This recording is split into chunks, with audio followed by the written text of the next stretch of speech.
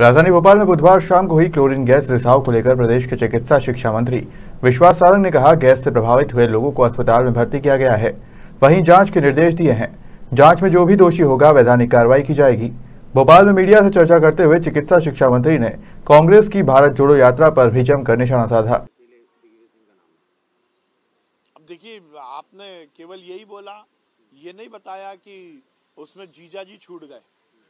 जब जीजा को ही नहीं लिया, मम्मी है, बेटा है, दीदी है, पर जीजा नहीं है। तो जीजा को छोड़ दिया तो फिर किसी को भी छोड़ा जा सकता है। पर वो स्ट्रिंग कमेटी खड़गे जी ने नहीं बनाई, वो नेहरू परिवार ने बनाई है। और इस बात को स्थापित, देखिए, मुख्य मुद्दा ये नहीं है। मुख्य मुद्दा ये भी है कि दिग्विजय सिंह जी को उनतीसवें नंबर पर रखा है। दिग्विजय सिंह जी से बहुत जूनियर लोग हैं, उनका नाम ऊपर है। प्रियंका गांधी दिग्विजय सिंह जी की बेटी की उम्र से भी कम होगी। राजनीतिक अनुभव में भी और उम्र में भी। और ऐसे सुरजेवाला हो या बहुत सारे नेता तो दिग्विजय सिंह जी को लिया नहीं दिया है। दिग्विजय सिंह जी की बेइज्जती भी की गई है। और मध्य प्रदेश के नागरिक होने के नाते मुझे इस बात का बड़ा दुख है कि दिग्विजय सिंह जी के साथ पहले उनको फॉर्म भरने का बोला, फिर फॉर्म वापस करवा दिया। थर्ड डिग्री में उनको चमकाया गया नेहरू परिवार द्वारा कि फॉर्म भर मत देना। बेचारों ने फॉर्म वापस लिया तो स्टीयरिंग कमेटी में उनतीसवें नंबर पर उनको डाल दिया। कमलनाथ जी सुबह से लेकर शाम तक माला जपते रहते हैं नेहरू परिवार की उनको लिया नहीं। तो ये स्थिति बड़ी खराब है कांग्रेस की। सर अगले अगले आठ दस महीनों के दौरान। वाटर फिल्ट्रेशन प्लांट में फिल्ट्रेशन की जो प्रक्रिया है उसमें क्लोरीन भी उपयोग होती है। क्लोरीन जिस स्टेज पर फिल्ट्रेशन के लिए उपयोग होती है, वहाँ 900 कैपेसिटी का 900 लीटर कैपेसिटी का क्लोरीन का सिलेंडर लगाया जाता है। कल उस सिलेंडर में कुछ लीकेज हुआ क्लोरीन गैस में। और आमतौर पर जो फिल्ट्रेशन प्लांट है, उसमें इस तरह का यदि लीकेज होता है तो जहाँ सिलेंडर रखा रहता है, उसके बगल में ही एक वाटर टैंक बनाया जाता है, जिसमें उसको वाटर टैंक में डाल दे, जिसमें वो गैस एटमॉस्फेयर में ना जाए। लीकेज हुआ, क्योंकि उसमें 900 लीटर गैस थी, उसको एकदम रोका नहीं जा सकता, जिसकी लगभग निकलने की जो अवधि है, वो 36 घंटे है। 36 घंटे में वो सिलेंडर खाली होता है। तो इसके लिए उसको वाटर टैंक में डाला गया। जो वाटर टैंक का ओवरफ्लो था, वो नीचे की बस्ती में नालियों के माध्यम से गया। तो उससे कुछ लोगों को दिक्कत आई थी, क्योंकि वो बहुत ऐसा कोई लाइफ थ्रेट वाली स्थिति नहीं थी।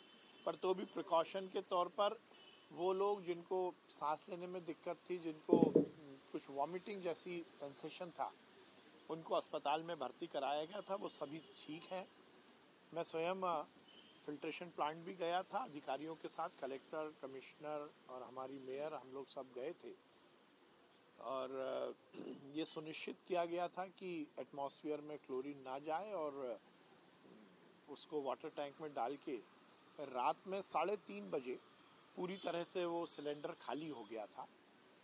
उससे पहले ये भी सुनिश्चित किया गया था कि वो जो नीचे की बस्ती है उसमें से लोगों को आ, हटाया जाए जहाँ ये संभावना थी कि वो गैस जा सकती है या वो पानी जा सकता है तो उनको भी हटा दिया गया था। स्थिति रात में ही नियंत्रण में थी कहीं भी कोई दिक्कत नहीं आई। जो अस्पताल में लोग थे उनको भी मैं देखने गया सभी की तबीयत ठीक। देखिए सीधी सीधी बात है कि कांग्रेस की जो बदतर स्थिति है, उसमें एंटनी कमेटी की रिपोर्ट ने यही कहा है कि जहाँ चुनाव होंगे, वहाँ नेहरू परिवार इस बात को स्थापित करे कि वो हिंदू है। तो हिंदू हूँ मैं और बड़ा हिंदू हूँ मैं, ये स्थापित करने के लिए पिछले चुनाव के समय भी राहुल गांधी आए थे और कोर्ट के ऊपर जनेऊ पहना था। उत्तर प्रदेश के चुनाव होते हैं तो प्रियंका गांधी गंगा जी में डुबकी लगाती हैं और उसके बाद गायब हो जाती हैं। तो ये जो चुनावी हिंदू बनने की जो कवायद है, चुनावी हिंदू बनने की जो प्रतिस्पर्धा है, उसका परिणाम है। और राहुल गांधी की भारत जोड़ो यात्रा तो पहले ही दिन से इस बात को लेकर विवादास्पद रही है कि आपने बात की है भारत जोड़ने की और आप उनको गले लगा रहे हो जो भारत तोड़ने की बात करते हैं, पाकिस्तान जिंदाबाद के नारे लगाते हैं। आप गरीबी मिटाने की बात करते हो और चालीस हज़ार की टी शर्ट पहन के यात्रा में शामिल होते हो।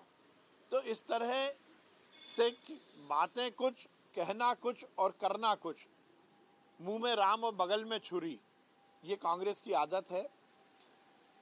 महाका, बाबा का परिसर का जो विस्तार हुआ है, उसमें जो कमलनाथ जी और कांग्रेस के नेता श्रेय लेने की जो राजनीति कर रहे हैं उससे उनको कोई बहुत फ़ायदा नहीं होने वाला। राहुल गांधी के महाकाल फ्लोटिंग सोलर प्लांट जो ओंकारेश्वर में लगा है उसका भी इनोग्रेशन करने आने वाले हैं. देखिए भारतीय जनता पार्टी की सरकार तो लगातार विकास और कल्याण की राजनीति को आगे बढ़ा रही है और उसके साथ साथ सांस्कृतिक अभ्योदय भी हमारा एक बड़ा संकल्प है। इस देश की संस्कृति इस देश की विरासत इस देश की पहचान चिर स्थायी रखे, आगे की पीढ़ी उससे सबक ले। ये हम सबको के लिए बहुत महत्वपूर्ण है और ओंकारेश्वर में भगवान शंकराचार्य महाराज की बड़ी प्रतिमा लग रही है और उसके साथ ही बहुत सारे ऐसे कार्यक्रम हैं जिसमें निश्चित रूप से यदि प्रधानमंत्री जी और गृह मंत्री जी आएँगे तो हमें नया उत्साह वर्धन होगा। और वैसे भी हमारे नेता यदि नरेंद्र मोदी जी, अमित शाह जी प्रदेश आते हैं तो प्रदेश की भारतीय जनता पार्टी का कार्यकर्ता और प्रदेश की जनता के लिए बड़ा होता तो छलक रहा है दिग्विजय सिंह जी का। क्योंकि दिग्विजय सिंह जी की जो बेइज्जती हुई है, पहले उनको कहा गया, फॉर्म भरो। और फिर उनसे, जैसा मैंने कहा, थर्ड डिग्री में फॉर्म वापस कराया गया और अब स्टेयरिंग कमेटी में जिस प्रकार से उनको उनतीसवें नंबर पर रखा गया है। निश्चित रूप से मुझे तो मैं तो दिग्विजय सिंह जी को ये एडवाइस दूँगा कि उनकी जो बेइज्जती हुई है, उसमें उनको स्टेयरिंग कमेटी से इस्तीफा दे देना चाहिए। उनतीसवें नंबर पर दो दो बार मुख्यमंत्री रहा व्यक्ति, कांग्रेस का महासचिव।